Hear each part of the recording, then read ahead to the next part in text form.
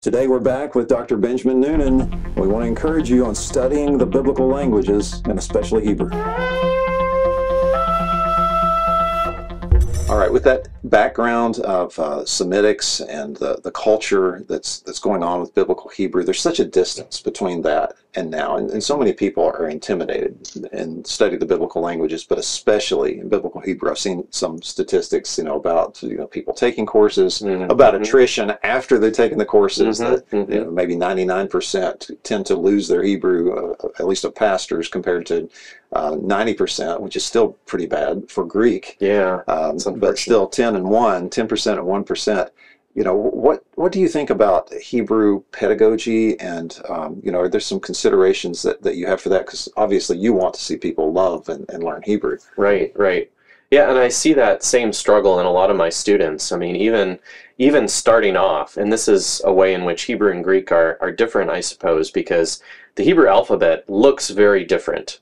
Uh, Greek, at least a lot of the letters uh, look look familiar to, to many students, but even start right uh, starting right away, uh, students often struggle with the alphabet. So I see the struggle because because Hebrew is just very different, um, and languages are challenging to learn. Uh, most of us, it takes a lot of time and a lot of effort, and so I want to do what I can to help my students learn the best that they can. And part of that entails using more communicative approaches. That's not the way that I learned Hebrew or Greek myself. Uh, I learned the traditional grammar translation method. And there's still a lot that's good in those methods. I mean, paradigms have their place. I'm not trying to say we need to jettison that at all. But when we take a look at second language acquisition research and we think about how do people learn languages, the way that they learn them is, again, using more of this communicative approach. Uh, my eyes have been opened to this a lot by my uh, wife, Dr. Jennifer Noonan. Uh, really thankful for her, and she's been a you know good uh, partner to have on this journey journey of learning myself. Um, but yeah, try to do what I can, and I take small steps. I can't do it all again because this is not the way I was trained. I'm not as comfortable. I need to build up my confidence and my own comfortability there. Uh, one example of something I did recently, uh, Jen and I actually worked on together, were some short stories uh, in simplified Hebrew, just giving our students a chance to get more practice with reading and to get some uh, input where they're they're uh, having a chance to, to read Hebrew and uh, again uh, what second language acquisition researchers call input, where it's uh, it's helping to to reinforce their understanding of the language is just so key, and it's been great to see the results with my students too. That's neat how many how many years have you been teaching hebrew then so you've been here 10 years Yeah, I've been here about ten years. Uh, I've I did probably about eight years or so. I was doing first year Hebrew when I first came here. Uh, I have a new colleague here uh, for the past two years, Dr. Michael Lyons. Really grateful for him. And uh, since he came, I switched to doing second year Hebrew, which is a little bit of a, a different a different animal, right? Uh, a little bit different when it comes to teaching, but you can still incorporate a lot of those same principles trying to get your students into the text as much as possible and giving them giving them opportunities to practice reading rather than just expecting them to memorize something and to be able to, to read it because they have learned a paradigm. Right. So they, they get to see some of the payoff kind of early. Some of us Mhm. uh, have been in programs at times where it was almost like the text was withheld from us Mhm. until we, you know, went through the boot camp of the, the paradigm memorization and everything else and just kind of like showed that we were worthy or something. right, right. Yeah, and it was very discouraging at, Yeah, at times. it is. Yeah. You you really need with language learning because again it's it's tough. Yeah. It's hard. It takes work.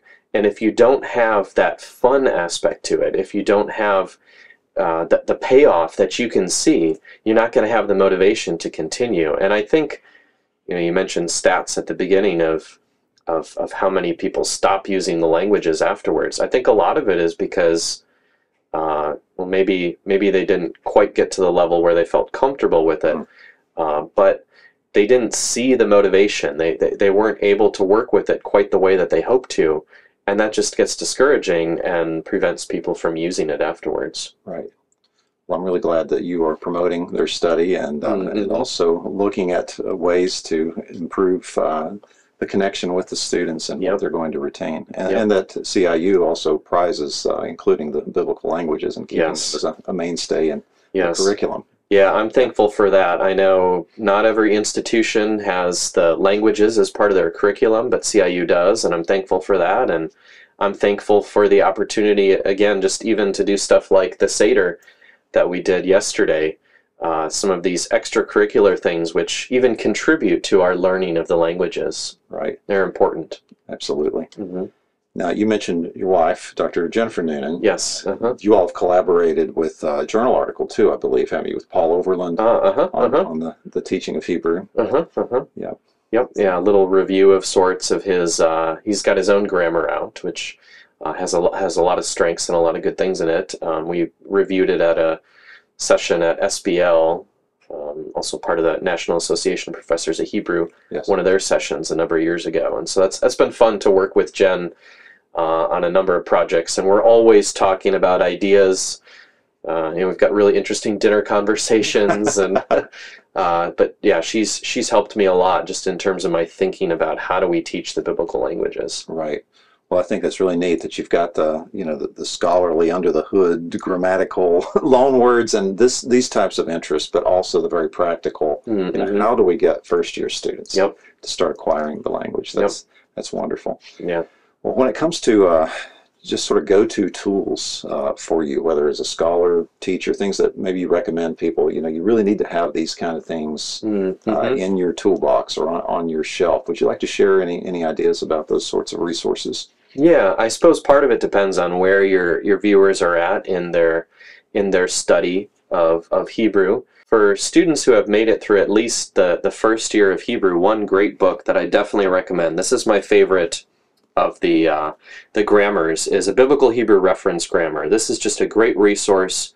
Uh, partially because it's it's written very well. It's pretty clear and concise. It doesn't have, you know, lengthy discussions, but it's it's very insightful, very accurate.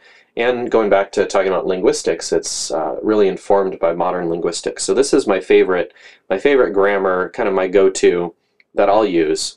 And speaking of linguistics, I also really like the Encyclopedia of uh, Hebrew Language and Linguistics that Brill published. Yes. Now it's kind of expensive, Yes. uh, but it's a wor- it's it's a good investment, and you can wait for it to be on sale, Yes. uh, and then you can get it. And it's just got so many good articles in there.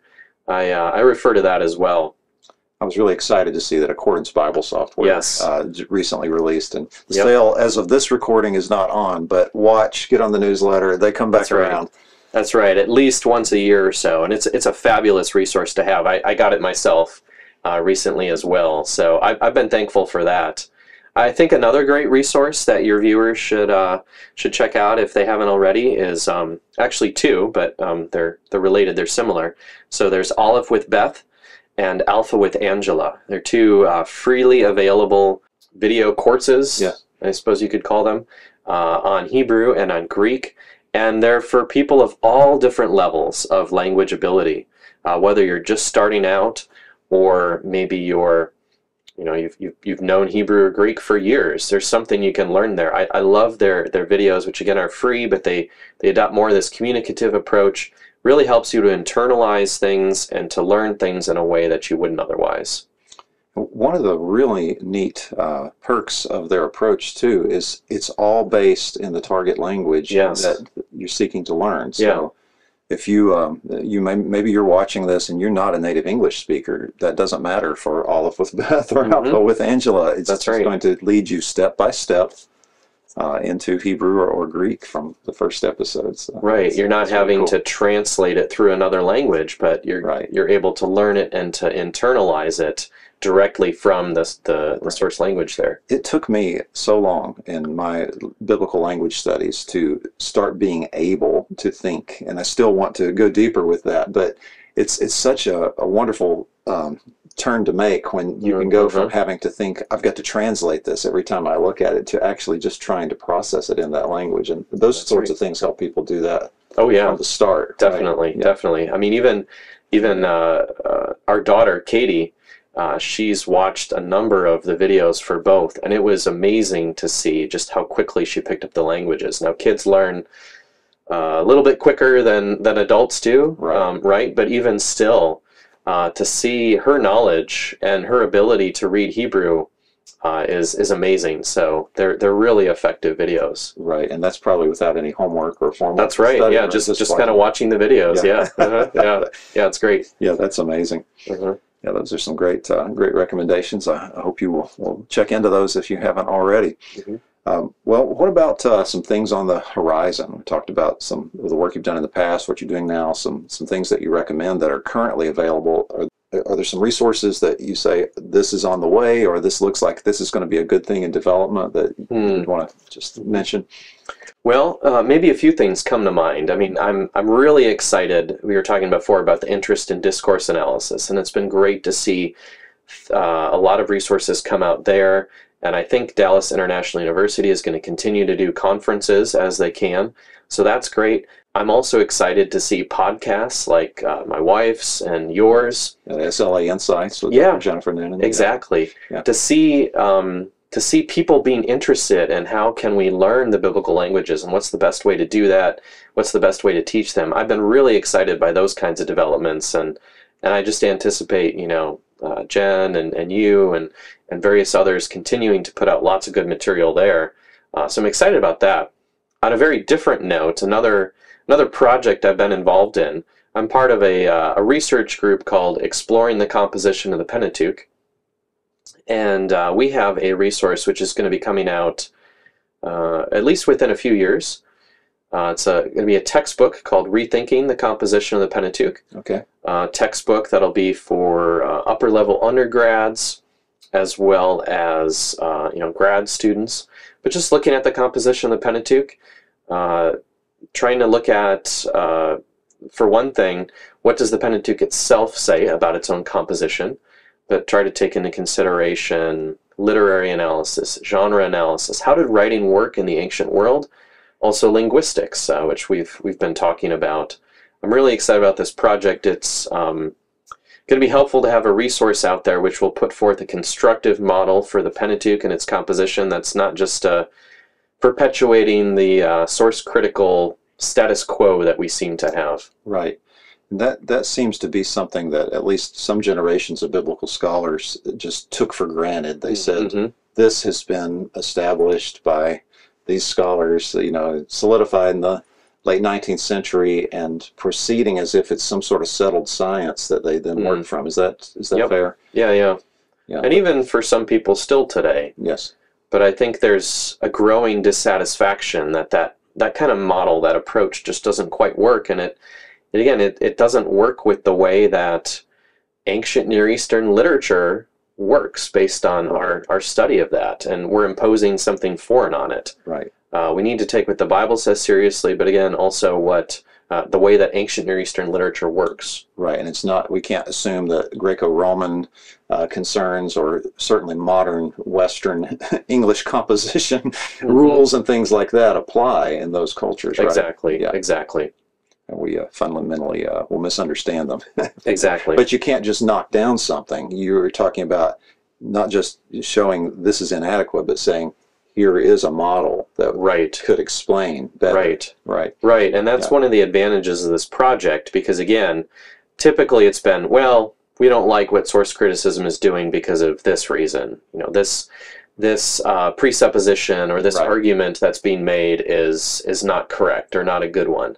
Well, I mean that's that's helpful, but then we also need to have a constructive model. Well, how should we think about it then if we're not doing it this particular way? Do some of these concerns also go back to what uh, your Dr. Fotter said about, uh, was it that the text has to make sense? Mm-hmm. Mm-hmm. Yeah. Yeah, I- exactly. Again, we, we have to read it as ancient Near Eastern literature, uh, and it has to make sense. Uh, and if we don't think that, if, if we're not approaching it from that perspective, then we're going to miss things and we're not going to understand it the way it was meant to be understood. Excellent. Well, Yeah. I look forward to, to seeing that. Yeah, yeah, yeah. And who, who, who did you say that was with? Uh, it should be with Hendrickson. Yeah. So hopefully your viewers can be watching for that in a few years. Okay, excellent. Well, I really appreciate the opportunity to talk with you today, Ben. It's just been an absolute pleasure, and I hope we can do it again sometime. Yeah, thanks. That'd be great, Doug. Thank you so much for Yeah, having yeah. me. This has been a lot of fun. You're welcome. As, as we close, uh, would you like to uh, speak to students uh, Hebrew teachers, researchers, any any words of wisdom that you'd give to folks? Uh-huh.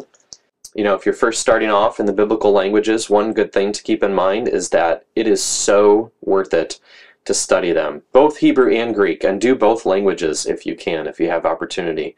Uh, but it's worth it. It's it's a lot of work, but uh, the more you do it, the easier it will get, and the payoff is more than worth it. So please stick with it and uh, try to heed some of the things that we've been talking about here, just even in terms of you know how, how should i study the languages? There's a lot of benefits to some of the resources that we mentioned there uh, and trying to, to learn in that particular way.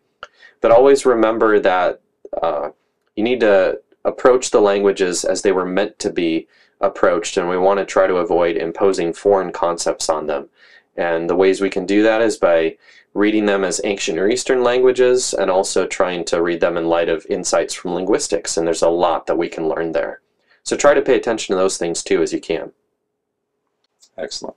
Well, thank you again for being with us today. Yeah, thank you so much, Doug. Uh-huh. Uh-huh.